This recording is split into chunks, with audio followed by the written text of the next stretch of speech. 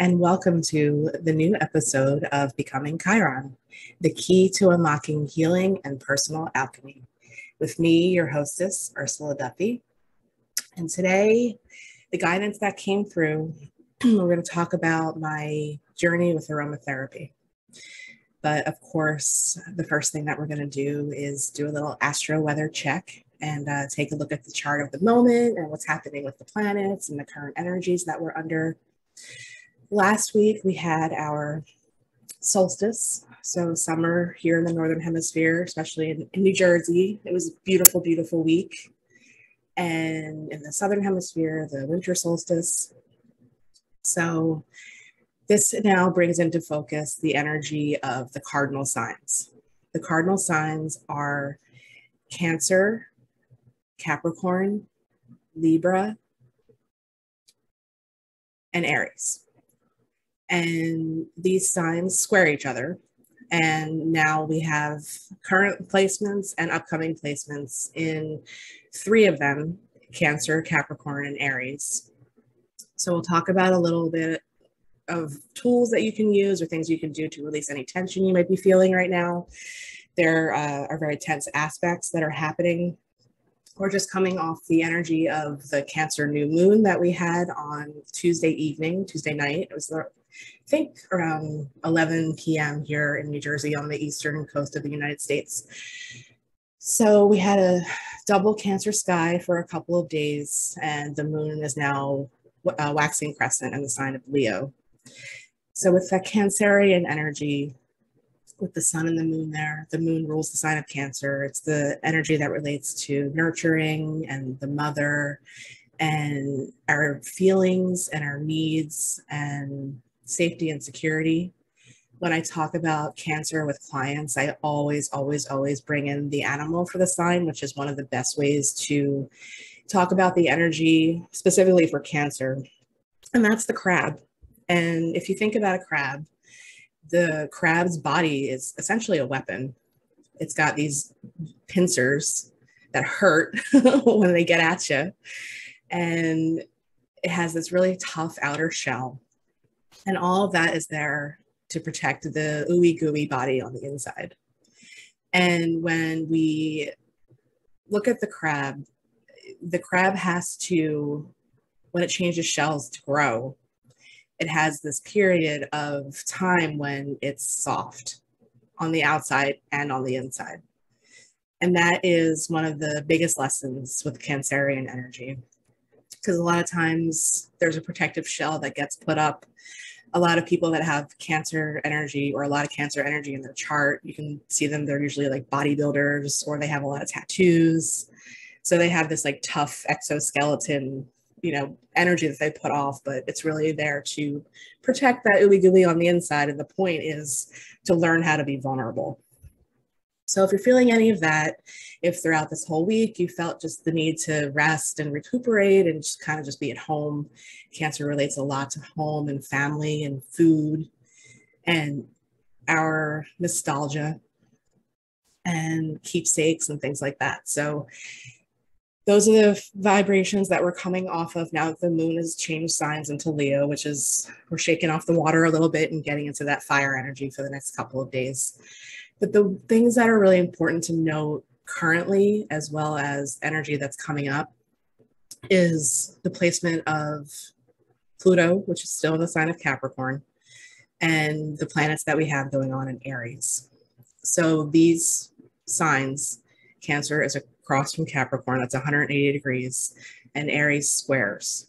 So these placements create tension. We've talked about squares before in previous episodes, squares that I have in my own natal chart, and squares that we've already passed through in, in transits that we've discussed at the beginning of each episode.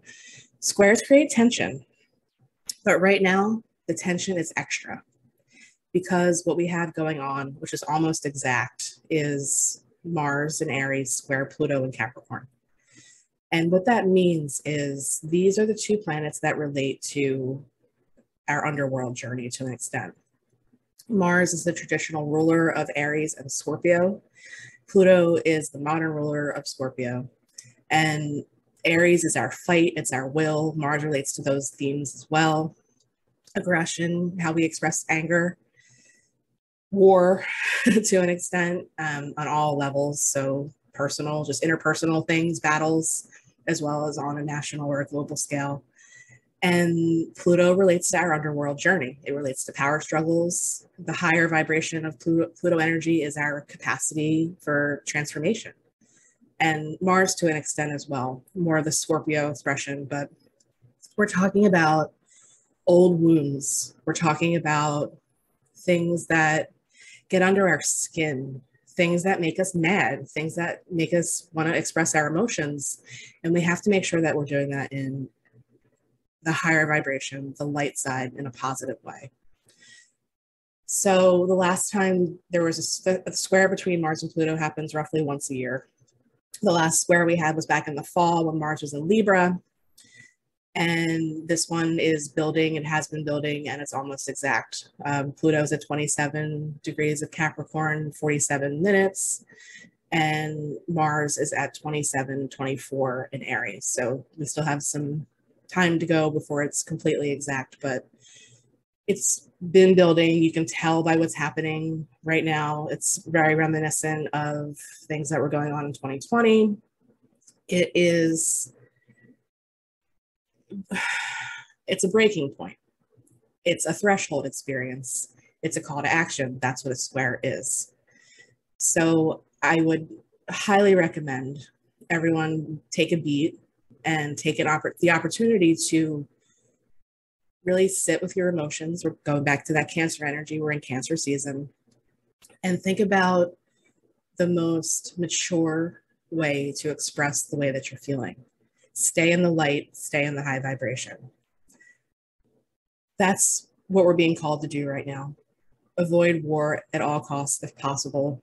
Detach from the talking heads and things that are, to an extent, I feel, inciting the shadow side of the expression of the square on purpose. And just do a little soul searching. We're talking about shadow work in particular. And you can learn more about shadow work, actually, the Sea Goddess Healing Arts Soul broadcast for June on our blog, on our website, seagoddesshealingarts.com, was actually all about shadow work. And the title of the blog post, the collaborative blog post that we did, is called The Light Side of Shadow Work. So it's time to dig deep. These things incite emotion. The last time that we had the square between Mars and Aries and Pluto and Capricorn was back in 2020 when Mars had its extended stay in Aries during that retrograde that we had. It was in Aries for like six months. And it was during the Mars retrograde in the fall of 2020. And that was a super intense time. Just think back to what was going on then. And when I wrote a blog post about Mars retrograde in Aries, you can find that on my website, ursaalchemy.com on my blog. I called it the battle for our sovereignty. And with everything that's happening, especially on a national scale at the moment, just remember that you are a sovereign being. It could be helpful to read what I wrote. I compared the energy to the Karate Kid, and I feel like that's a really good analysis of the different ways that this energy can express. And you are a sovereign being, and no one can take that away from you. Stand in your power. Like I said, this is about power struggles, power dynamics, and hold your ground and do a little soul searching. Find the opportunities for healing in all of this and pay really close attention to the words that are being used and do a little research. You might find if you dig a little bit on your own that what's being presented isn't exactly what's going on. Or things are being said in specific ways like casting spells that are meant to create division and take us away from our sovereignty. So just uh, some tidbits about the astro weather that we're currently under. It will probably get more intense over the next week or so and then the square will uh, start to separate. Mars will move into the sign of Taurus, which is a much more steady energy. It's not exactly happy in the sign of Taurus. Mars doesn't like to move slowly, but I think it'll give us a little bit of a reprieve from the fiery, inciting Aries energy that we've been under. We have Jupiter in Aries as well. Jupiter squared the new moon that we had on Tuesday, another square that we're dealing with this week. So take the opportunity to lead and be a leader and take the higher road if possible.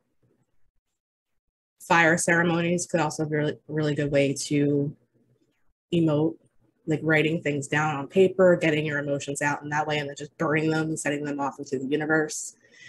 We're under this fire energy now with the moon for the next couple of days. So it's helpful to work with to move things out. So that's where we're at astrologically. So I'm going to shift gears now into my journey with aromatherapy. And I want to talk about several different aspects of this journey. I feel that part of my mission here in this lifetime is to right the wrongs and to bring truth and clarity to very esoteric and ancient sciences, astrology and aromatherapy. There are a lot of misconceptions and misinformation out in the ethers about both of them. In my journey, this is part of my Chiron journey for sure, was being led to them in a way where it was kind of a misinterpretation or not so much the truth of what I was looking at with both subjects, and then learning and getting guided to truth. Where I started with aromatherapy, I talked a little bit about this, I think, in the last episode, um, my spiritual reawakening experience. But it really, my first dabble with it actually started um, I think a couple years before that. And I used to watch the Dr. Oz show.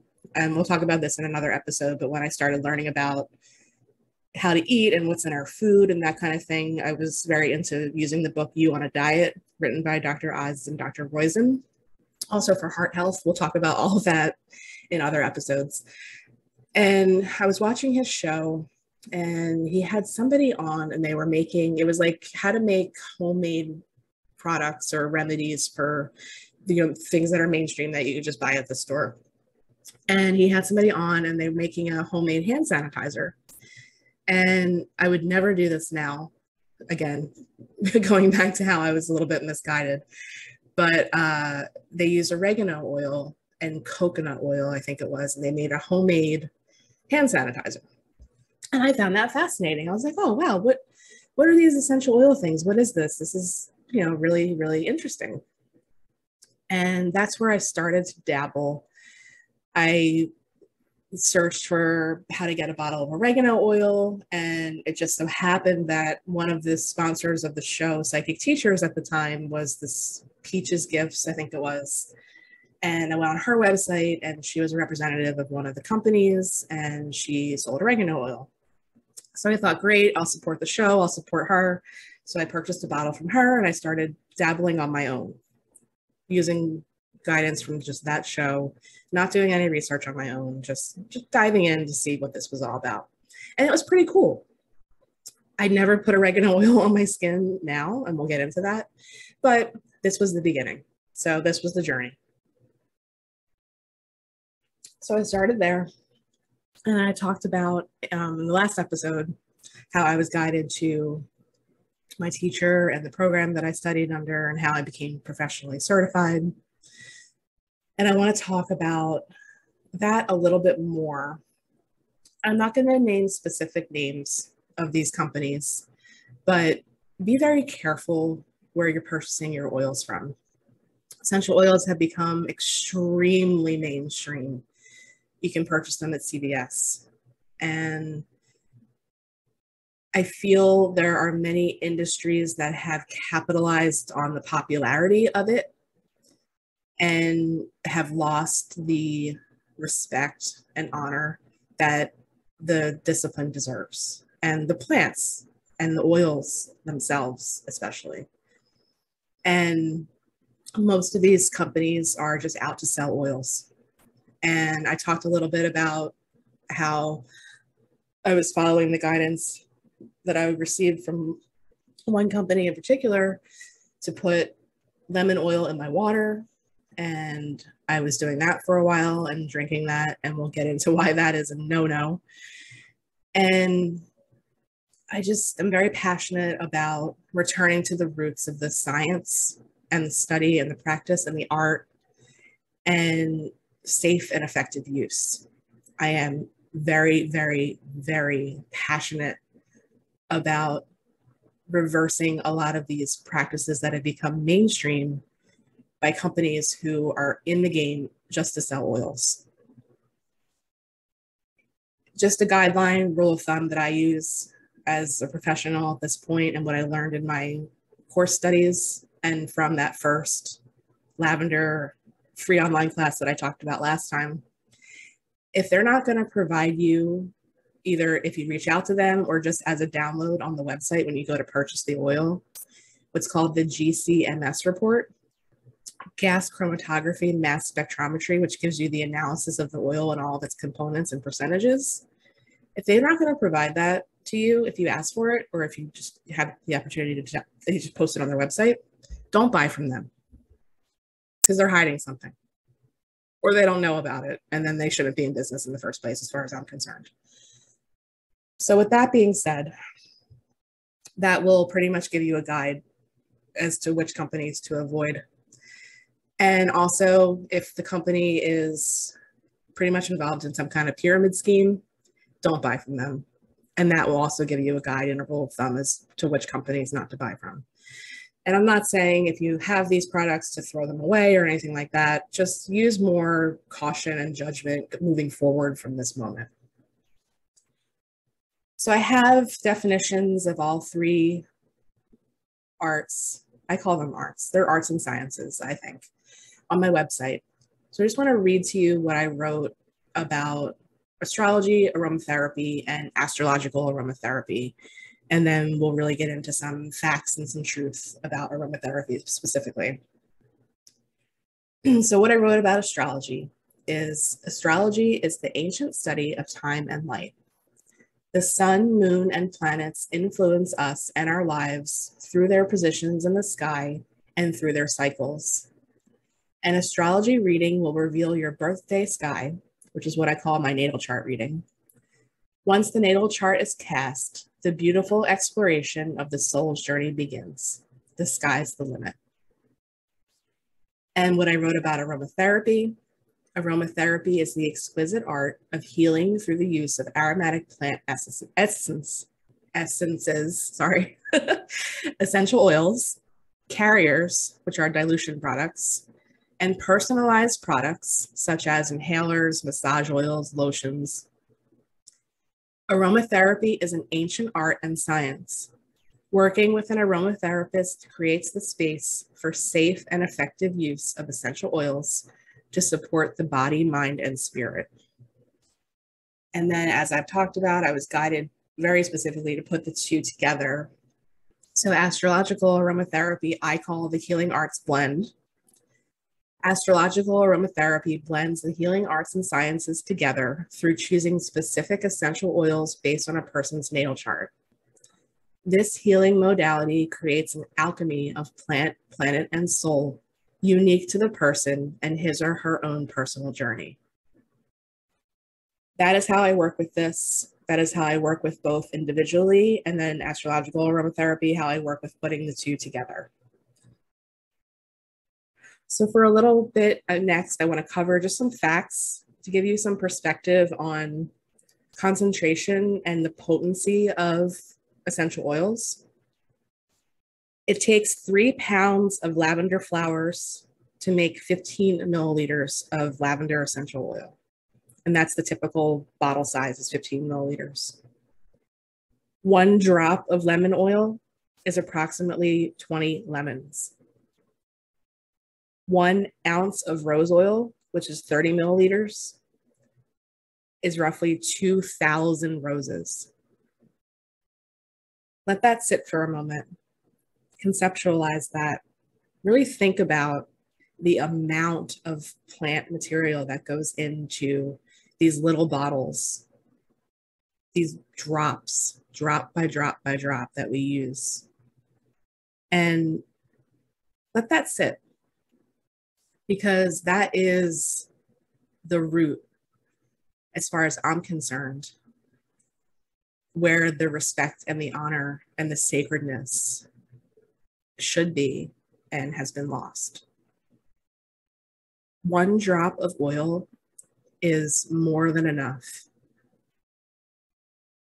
Dilution, dilution, dilution is extremely important, especially when you're considering the perspective that I just mentioned the concentration, the amount of plant material that goes into this. Extremely important, extremely important. So when we're talking about, you know, how these are mass produced now and how we're just told to, you know, oh, add whatever, you know, don't count the drops. Don't. These are practices that have been brought into the mainstream. I think, in particular, by companies who are just trying to sell oil. So we're dealing with the plant's essence here. We're dealing with plant spirit. And not every plant is an aromatic plant. If you disturb a plant and you smell something, that's an aromatic plant. And most times we can extract an essential oil from that. So there's an extreme amount of science that goes into this. There's an extreme amount of chemistry that's behind this, biology, anatomy, and physiology. These were all parts of my course of study. I had to take part of my lesson plans were biology of the plants. Part of my lesson plans were chemistry that goes into the analysis of all the oils. The reason why we use these oils as therapeutics is because they have what's called these chemical components, which is where the therapeutic effects come from. We get into organic chemistry, they're called monoterpenes, they're called sesquiterpenes. There's a lot of science behind aromatherapy and essential oils this practice, this study, this art has been around for millennia. Millennia. The use of herbs and healing, the original medicine. This is not something to be trifled with. And this is something that we need to kind of go back to the sacredness of it and the history that's been passed down and the knowledge from generation to generation over millennia. I am now that I've been educated on everything, not pleased with my experience in the beginning, although it, it, has brought me to this level of understanding and the passion that I feel for this. But when we talk about methods of absorption, the way that the, the way that we get the oil into our bodies, this is one thing that I'm extremely passionate about as well. There's inhalation, there's absorption. What I was told to do with the lemon oil ingestion is by far one of the things I feel is a mainstream practice that is completely unsafe. You should not be ingesting essential oils. Think about what I said as far as the amount of plant material and the concentration in just one drop. As I learned in my course of study, um, ingestion really should only be done when you're working with what's called a clinical aromatherapist. So somebody that has studied deeply the effects and the oils themselves and what they do to our organs and the inside of the body. People should not be drinking lemon oil. I should not have been drinking lemon oil. I actually called the company after I started learning, and the person that I spoke to on the phone had no idea how to answer my questions. And I was just really sad about that because if I had continued doing that, I really could have hurt myself. I really could have damaged my esophagus and my stomach. So that is something the safe and effective use I'm extremely, extremely passionate about. The other thing too is just common knowledge that's lacking a little bit and information about oils themselves. There are certain oils, specifically many of the citruses that are what's called phototoxic and if you put them on your skin in certain concentrations and go out in the sun, you'll your skin will burn badly. Look it up online. Just do a search. in your favorite search engine for phototoxic effects or something along those lines of essential oils on the skin. And you'll see the pictures, and it's horrifying. Everything has a place. There, the therapeutic properties and the safe and effective use are extremely important. Also, concentrations, like I talked about, dilution. Most products and oils, you're good with like a 1% to 2% dilution, which is 10 to 12 drops in an ounce. Let that sit. Think about that amount. And then the other thing too is there's some common mainstream practices of just putting oils directly on your skin, which is also not a very safe practice, especially when we're talking about the certain citrus oils that are phototoxic. I burned my finger the other day and that is one of the few times that I will ever apply an oil, what's called neat, which is undiluted to my skin. And it was lavender, which is generally safe and really good for burns. In certain trauma situations like stings, you know, bug bites, cuts, burns, it's really the only time that it's okay to apply an oil directly to the skin. The other thing, the other part of this too is these are oils. These are, they don't dilute in water if you'll notice, if you make your, if you, you know, just put a drop of oil on water, it floats. So shaking blends, you know, sh shaking them before you use them and things like that are extremely important too. If there's, if it's in like an aqueous solution like water or aloe vera gel or something like that. Like if you've ever made your own uh, cleaning spray for your countertops or something, you'll see that the oils just sit on top. So you have to shake it before you use it. Don't ever put an oil directly in your bath water. Dilute it first. I know that's a common practice as well. Just put a couple drops in the bath. No. Dilute it in coconut oil or aloe vera gel or something, and then you can enjoy your bath. The other things that I think are really important to touch on are essential oils. Some of them have a shelf life they can oxidize. It's called oxidize. And when you use an oil that's been oxidized or has pretty much gone rancid or bad, that can harm you as well. Most of the citruses generally have like a one year shelf life. So the quantities that you purchase your oils in, the way that you store them, that's all important information and things to know if you're dabbling in this practice and this art you can find a lot of really good information online in, on repu reputable websites. When you buy an oil, there should be information about how to safely and effectively use it. These things are incredible healing arts and tools. And it's important to use them and honor them. And the other thing too is for safe and effective use, there are different guidelines depending on whether you're on a medication. Certain oils have certain interactions with certain pharmaceuticals. You shouldn't use oils with babies. Actually, kids, I think under five, it is three to five, you shouldn't use the oil at all. You should use the hydrosol because the oil is too strong. The hydrosol is the water that's left over after the distillation process. It's, an, it's a therapeutic water. And that's the only thing that's really safe for babies if you're pregnant, there are certain guidelines.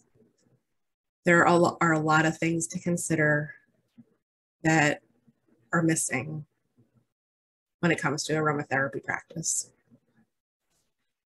So I wanted to touch on that because it's really important to me and also just the way that I kind of went through my process of learning and going from what I was told to do and then learning what I was doing was definitely not the right way to use lemon oil. And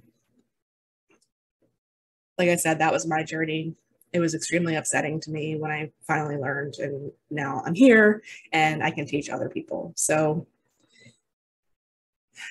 it's a extremely in-depth art and science, and it's beautiful um, being a Taurus rising, it makes sense to me that I'd be attracted to aromatherapy and, and be an aromatherapist just because of the sensual nature of it. but I'm also a very science based person. I have my South Node in Aquarius, which is the scientist. So knowing how and learning how to appreciate both the art and the science of it is definitely a big part of my path. And next, I want to switch gears a little bit and go into astrological aromatherapy. So, putting these two sciences and arts together, which is ultimately my favorite thing to do. if I could do astrological aromatherapy with every client, I would be so ecstatic. but I'm happy to also do them separately. So I talked last time about the book and the paper that I wrote for my um, for becoming my for getting my aromatherapy certification. Astrological aromatherapy was what I wrote about, and part of this practice that has gone back millennia is knowing the correspondences. And what I mean by correspondences is how plants relate to the planets and the cosmos. You'll see, you can see it visually if you look at a plant that's very spiky, usually that's has an association with the planet Mars. Flowers have an association with the planet Venus, tobacco with Saturn. Every plant has a planet, pretty much.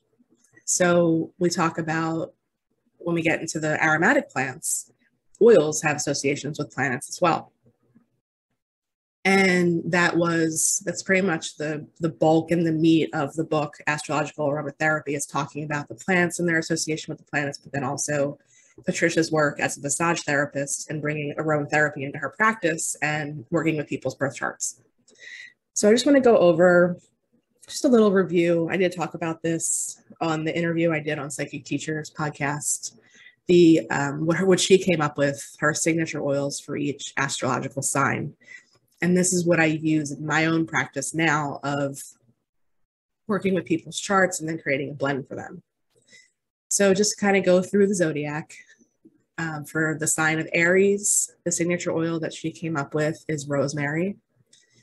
And then I, you know, pulled this information out and wrote about this in my paper and analyzed the correspondences with the qualities of the signs as well. So it's really interesting because Aries relates to the head and rosemary is really good for remembering. I know it's called the herb of remembrance, but also it's really good for headaches. So, just some fun facts about that. For the sign of Taurus, the signature oil that she came up with was rose, which is perfect in my opinion. For Gemini, it's basil, which I also find really interesting because of the, you can use basil a lot for like energetic cleansing. And a lot of the times with Gemini energy, it can be very flighty and scattered and nervous. So sniff some basil oil or just, you know, break the plant into your hand. This is basil season right now in the Northern Hemisphere, especially in New Jersey with all the summer produce and herbs. So that was also really interesting to me. For the sign of Cancer, she came up with German chamomile. It's also called blue chamomile. The oil is actually blue, which is fascinating to me. Um, there are several oils that are, have a blue color, and that color comes from the extraction process. So there's different methods of extracting oils. There's distillation. There's um, cold pressing, which is mostly used for the citrus oils because the oil comes from the peel, the rind there's CO2 extraction, there's solvent methods. So sometimes this process creates a color and um, specifically for German chamomile, it's blue. And just cancer and the water, it's just, it's so cool. For Leo, the signature oil she came up with is jasmine, which is also really, really fitting. Uh, Leo is very much related to royalty to an extent and jasmine is one of the most expensive oils that there is. For Virgo, we talked about this last time, it's lavender, which is so perfect because lavender just has so many different healing properties and therapeutic properties and uses. It's like the jack of all trades of essential oils. then for Libra, I found this very interesting because Libra is the sign of balance. She came up with two. So one is called Palmarosa, which is has a very beautiful floral scent to it, and geranium, which is I find a very strong kind of stinky oil. Uh, you have to be. I feel like that's a love or hate relationship, kind of like patchouli. Um, but it's interesting too because geranium is made from the leaves of the plant and not the flowers. But those are the two for Libra. For Scorpio, it's patchouli, which is so fitting, I find. And I kind of want to get into more work with like patchouli is one of it's is the one of the oils that has one of the longest shelf lives. So there's like people that specialize in making really like old patchouli oil. And I feel like that just gets better with age, just like a fine wine. so I want to explore that a little bit and start dabbling because for, for me, patchouli can be a little bit of a love hate relationship. But if you get into the more complex, older patchoulis, that could be something to have fun with. Then for Sagittarius, it's black pepper, which I love. And I've worked with several people that have Sagittarius energy, and it just helps calm them in a very specific way I find it interesting is it's a spice. For Capricorn, it's vetiver, which is one of my absolute favorite oils. It, it, it is so sensual and grounding and beautiful. And I just love it. It's extremely thick and earthy. And Capricorn's an earth sign. So that correspondence is really cool. For Aquarius, it's neroli, which is the flower that comes from the bitter orange plant. Another very expensive oil, also another very exquisite aroma. And I love it with my Aquarius South Node. That doesn't surprise me. For, and then for last but not least, Pisces, it's Melissa. And Melissa is actually lemon balm. And when I purchased Melissa for the first time and started working with it, I found it to be extremely, extremely, how can I put it, ethereal. I can see why she associated Melissa with Pisces energy, as that's the sign that relates to transcendence. And lemon balm and lemon balm and um, Melissa Melissa lemon balm are supposedly very good for people that are in a stage of transition from life to death. It helps rem- them remember home, their soul. It works on a soul level. So I found that very, very interesting. And if you want to learn more about those associations, the signature oils, um, I highly recommend Patricia's book, Astrological Aromatherapy there are many different um, resources out there that talk about. She also has another book called Subtle Aromatherapy, which talks about how the oils can mm-hmm. have a certain energy in correspondence to our chakras, which I also find fascinating because it is also a form of energy medicine. So I highly recommend finding a reputable, reputable source and maybe reimagining your work and your use of these substances. My friend gifted me an oracle deck, which is called Essential Oil Oracle Cards by Lisa Powers. And I was shuffling and I laughed when I was talking because the, the card that came out, I wanted to pull a card for us today oregano. I can't make this shit up. So each um, each card kind of brings forward the essence, the spiritual connection, the spiritual nature of the plant and the oil themselves. And each one has a statement on it, which is really cool. So for oregano, it says, I am right. And that's the trigger statement. And the true statement is, I am open to the unknown. And this category for this deck of oregano is resonance and the message on the card says, You are being shown what is dissonant in your life. Allow the beliefs that are not serving you to fall away and be open to your bright future. I feel like that's very perfect for many reasons, especially because my journey started with oregano oil, but also as a very um, poignant message to speak to what's happening right now, what I touched on as far as the collective energy that we're under and what's happening nationally and globally. And one of the really cool things with oregano oil is that it is extremely potent for anti being an antiviral, antibacterial. Another one that is definitely not okay to apply to the skin, but can be used in very specific ways and very effective ways. And the idea of dissonance, and then this being a very cleansing oil that helps disease,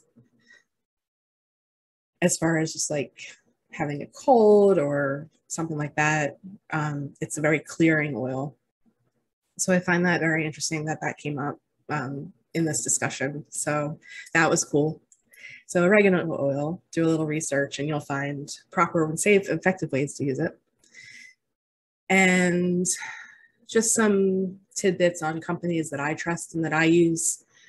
Uh, Aromatics International is the company that was started by the founder and my teacher of Aromahead Institute.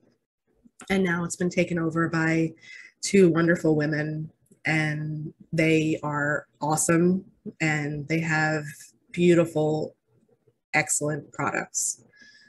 And a couple other companies that I use that I trust. Um, Eden Botanicals is one, and they're really cool because you can actually order samples of things on their website. And Mountain Rose Herbs is a good one as well as um, Simply Earth is also a really, really great company with an incredible mission. So those are the few of my trusted sources that I will buy my, my products from. I mostly purchase from Aromatics International. And as all this guidance came through and the reasons to have this discussion and to go into this topic, I will be adding an aromatherapy consult service to my list of services. Astrological aromatherapy is there. That is my absolute favorite. That in that service, I do the first uh, part of it is doing your birth chart reading, time, date, and location, preferably if you've got them. And then the second part is the aromatherapy consult, and how I work with that is I require intake forms. There's a bunch of questions on there as far as medical history, conditions, medications that you're on. So we know, make sure that there's no contraindications with oils. And then I make a blend. We kind of talk about where you are energetically in your chart, what areas could sign specifically houses, if you've got planets there, where you're kind of feeling like there's more energy that you could put into a certain spot or you know what cycle you're in. And then we make a blend and see if that helps energetically with what your soul is kind of calling for at the time of the reading. And there are many different ways to work with that. We could do something like a diffuser blend or a lotion or a perfume like a roll-on. I also have and we'll be adding those to the website soon as well. Two products that, that I created, um, signature blends for a sea goddess based on the quote unquote birth chart of the business. And I made an energy cleansing spray, which is great for when you can't use like Palo Santo or sage smoke. It's a smokeless energy cleansing spray that has uh, white sage hydrosol in it. That's part of the blend. As we know, sage is really good for cleansing energy and cleansing a room, and it has antiviral and antibacterial properties as well. So it's a smokeless smudge, I guess you could say. And then I also made a roll on perfume, which is beautiful. And I love it. I use it every day. it's one of my favorites.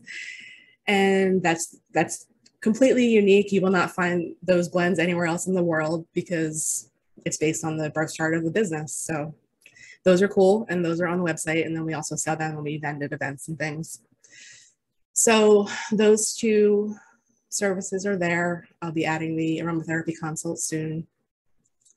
And I'm going to wrap this up for today. I feel like I've said a lot. There's a lot to digest there and let marinate. If you have questions, I am happy to help, provide you with resources or guide you in a direction that's better for safe and effective use if you're doing some of the things that I recommended against.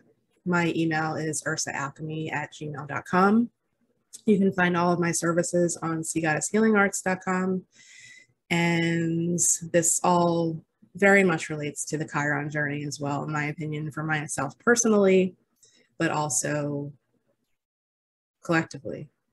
And being up in a cave and mixing tinctures and essential oil blends and doing them from the heart and honoring the soul and the spirit of the plants. That's what Chiron, I can imagine, would have been doing. And then teaching that to people. So that's a wrap for today. I'm going to close out there. And as I say at the end of every episode, remember to be a maverick. Bye.